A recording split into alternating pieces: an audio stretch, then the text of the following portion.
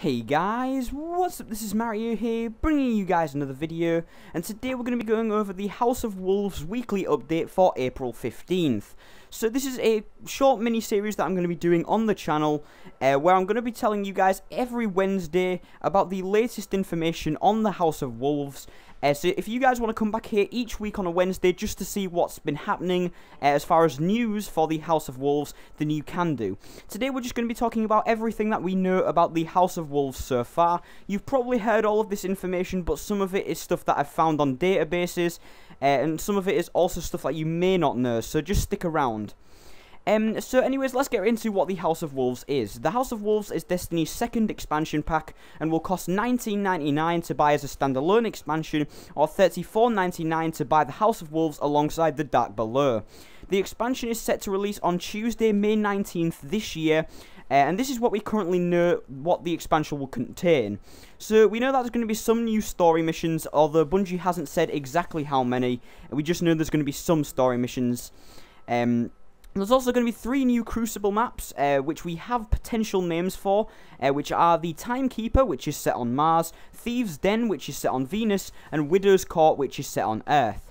We also know of one new strike mission, which is currently possibly going to be called Belly of the Beast and will be set on the moon.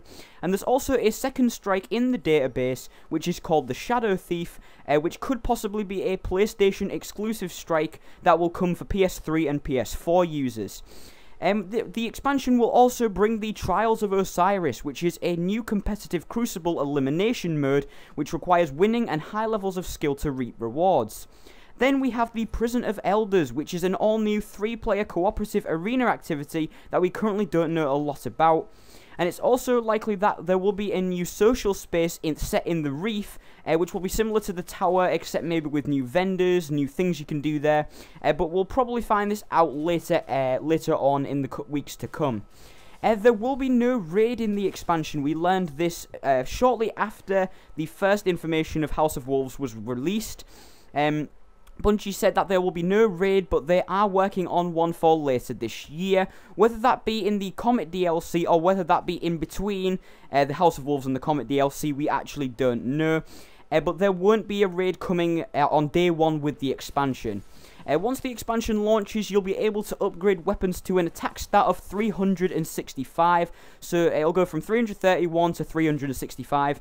And it's also believed that there'll be some way to upgrade the Vault of Glass weapons due to this picture of the Fatebringer hand cannon on the picture that Bungie revealed, uh, with the 300 stat going up to 365. Uh, so we believe that Vault of Glass weapons will be able to be upgraded in some way. Uh, currently, this is most of what we actually know about the expansion, but Bungie does have a calendar of events that will fully reveal several different parts of the expansion. Uh, this is how it's going to work. So Bungie will be hosting several live streams over the coming weeks uh, that will reveal uh, different parts of the content in the, coming in the House of Wolves. Uh, so let's begin with Wednesday, the April uh, April 22nd. Uh, where Bungie will take us on a walking tour of the reef with a live discussion about the upgrade paths for your gear. Uh, this will be touring whatever there is to do in the reef, as well as discussing how we will upgrade our gear and progress further in the game. Um, it's possible, and this is something that I've been hearing a lot, is that we may, in the reef, have a way to upgrade legendary weapons instead of just exotic weapons from Xûr. There might be like a vend, maybe there's going to be like a weekly vendor in the reef uh, that will upgrade legendary weapons rather than exotics. Uh, then on Wednesday, April 29th, uh, this will bring the reveal of the, and live gameplay of course, of the Trials of Osiris Crucible mode, and its collection of endgame content. Uh, this will be great to watch if you're a Crucible player at the minute as you'll be learning about the upcoming features being added to the Crucible and how you can get the high level rewards from the Trials of Osiris. Then on Wednesday, May 6th, uh, we will see the reveal and live gameplay of the thing that we're going to be playing for the next probably few months, uh, which is the Prison of Elders arena activity, uh, which is described as a brand new three-player cooperative multiplayer arena. Now, this is very exciting, and I know a lot of people have been disappointed in the fact that there isn't going to be a raid uh, on day one, but I'm actually really excited to see what they do with the arena, and I'll actually be discussing in a video uh, on my channel at some point uh, my thoughts and ideas on what could happen in the arena, or my idea of what the arena is going to be essentially. So hopefully you guys will look forward to that video. And then finally there'll be another sort of release, whether it'll be on Twitch or not. Um, there'll be a release on Friday, May 8th, uh, but Bungie has not told us anything about what they're going to be releasing. So we believe that it's going to be something quite special, whether it be story missions, whether it be the story, whether they make, like a live playthrough, or just everything in the in the expansion. We don't know yet, um, but I'm sure we'll find out on Friday, May 8th.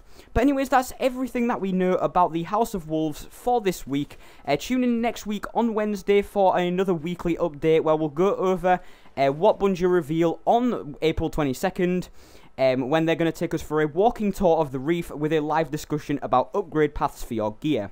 So anyways guys, thank you for watching this video. If you've enjoyed it, remember to smash that like button and don't forget to subscribe for daily gaming content. Remember to follow me on Facebook, Twitter and Twitch, links in the description below, and I'll see you guys in another video. So until then, ciao.